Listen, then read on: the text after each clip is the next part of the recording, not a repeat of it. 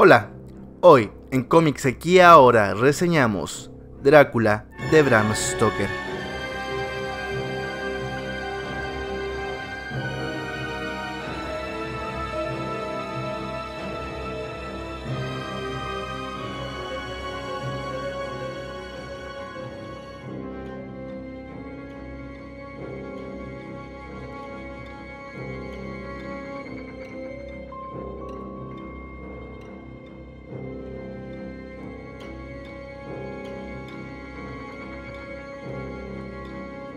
Abriendo el tomo, unas guardas en un rojo intenso que recuerdan la pasión de su protagonista por la sangre.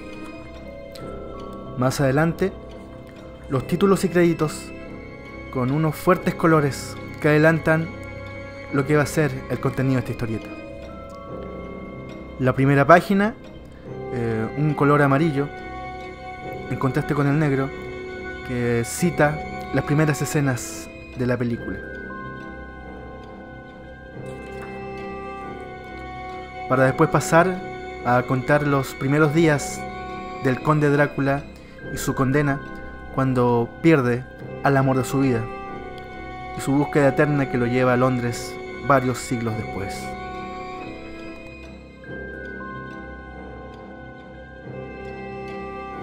Emplazada temporalmente en los últimos años del siglo XIX, en Londres, Drácula de Bram Stoker cuenta los hechos de Jonathan Harker, un joven abogado que tiene que dejar su Londres, cruzar el Canal de la Mancha e internarse en el profundo Transilvania, hasta llegar al castillo del conde Drácula.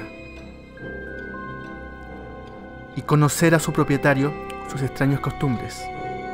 Conde, que esconde su verdadero nombre, es en realidad el centenario Vlad Tepes, aliado de la cristiandad, enemigo de los otomanos, pero eso hasta el momento en que una maldición lo condenó a la vida eterna.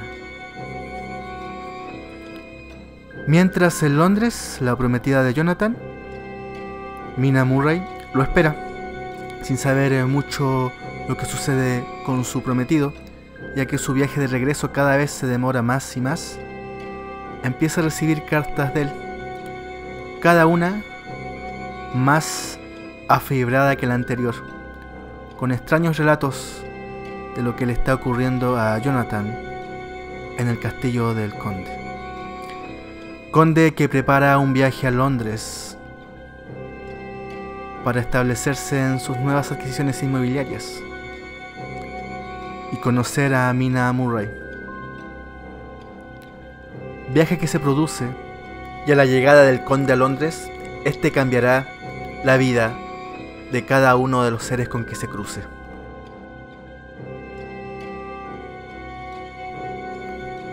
Incluida, como no, Mina Murray. Una historia que tiene un sustrato romántico y bastante erótico, pero que en esta adaptación se deja de lado el erotismo y se suaviza bastante, salvo una que otra viñeta que en relación a la película le bajan bastante ese tono sexual y erótico. En este par de páginas, otro de los ejemplos de esos colores expresionistas, el contraste que le van dando ritmo a esta historieta.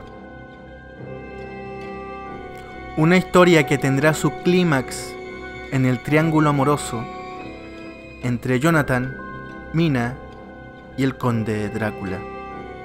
En el camino se le irán sumando algunos enemigos al conde, como el profesor Van Helsing, y algunas y algunos aliados inesperados. Un relato absolutamente romántico que se desenvuelve entre el amor, las pasiones, el deseo, la muerte, el erotismo. Un clásico del cine de los años 90, con este neobarroco, que lo hace ganador de algún premio Oscar por ahí, y que tiene esta historia, esta especie de romance alternativo, con una heroína que tendrá que lidiar entre el que cree el amor de su vida y la pasión que la está llevando a perder la razón y que acaba de conocer.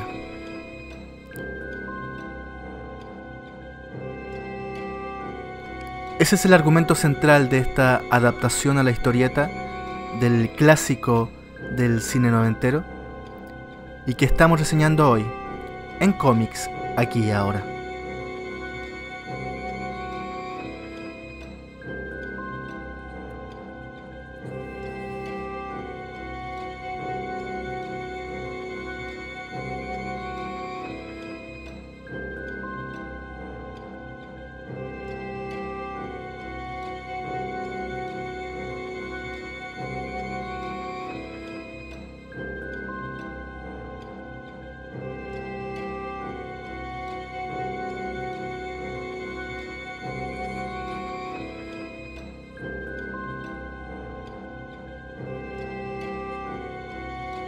El guion de Roy Thomas que trata de adaptar lo más fielmente la película a las viñetas.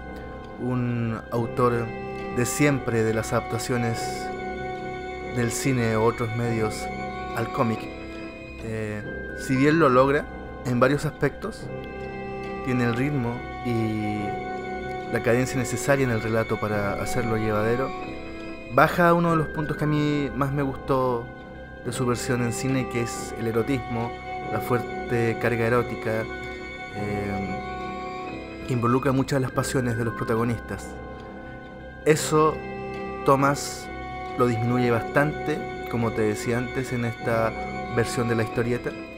Pero así todo logra hacer una historieta entretenida, podría decirse para casi todo público, salvo por un, un par de viñetas por ahí. Pero el resto eh, intenta y creo que logra eh, alcanzar una historieta para casi toda la familia y ampliar al público lector de quizás ese público más reducido, desde adolescentes para arriba, que tiene la versión del cine. Bueno, por alguna parte se gana y por otra me parece se pierde.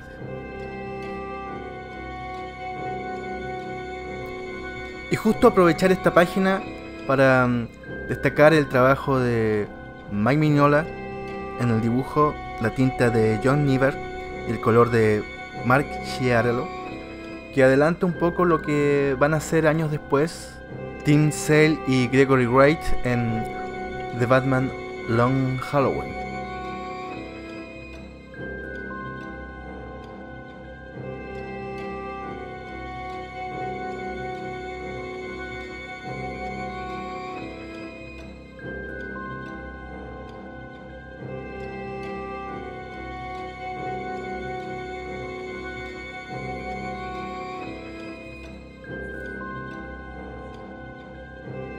El dibujo de Mike Miñola, por sobre la congruencia anatómica, prefiere realizar cuerpos geométricos y asimétricos. Em, es una altura de los años 90 en que tratar de ilustrar la cara de uno de los artistas que aparece en la película podría traer aparejada la demanda de derechos de uso de imagen. Así que más que dibujar rostros o muchas caras definibles o definidas, lo que hace son semblantes o apreciaciones de distancia de estas caras de los actores.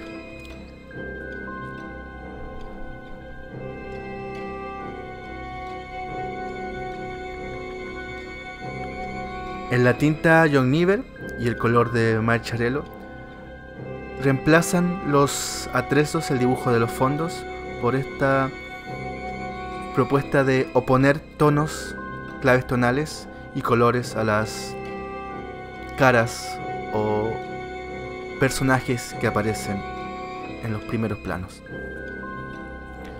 Para terminar, una guarda con bocetos y ilustraciones en blanco y negro, de la edición en blanco y negro de esta, de esta historieta.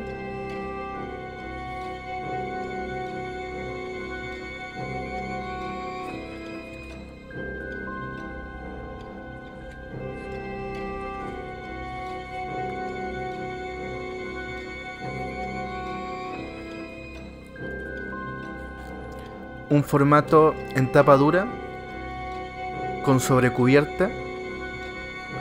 Eso sí, el material se nota mucho más plástico que pulpa de papel, pero bueno, es el viento de los tiempos. Y esta también dice ahí Made in China. Edición norma, pero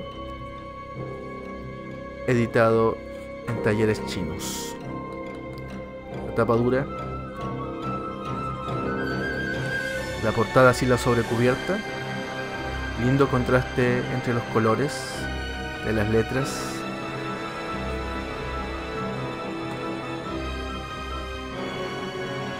Y el color de las tapas.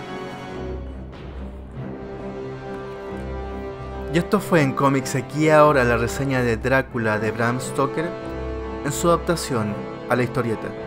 Si eres fan de la película, me parece que tienes que seguir por aquí. No lo eres tanto, eh, es una recomendable historieta de terror un poco más soft, terror y romanticismo más soft. Pero si nunca la has visto, quizás este sea un buen punto de partida a ver si te completa algo más el cine. Gracias por haber visto este video. Si te gustó ya tú sabes, si quieres ver más sería buena idea suscribirse. Yo me despido y será hasta la próxima en cómics, aquí y ahora. Adiós.